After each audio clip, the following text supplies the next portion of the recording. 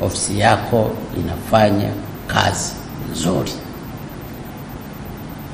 Tumekuwa tukishuhudia na kusikia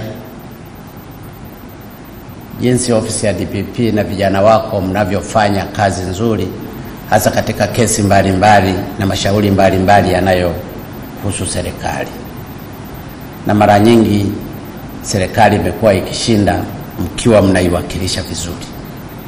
Nasema kwa dhati, kwa niaba ya Watanzania tunaipongeza sana ofisi yako na watendaji wako wote.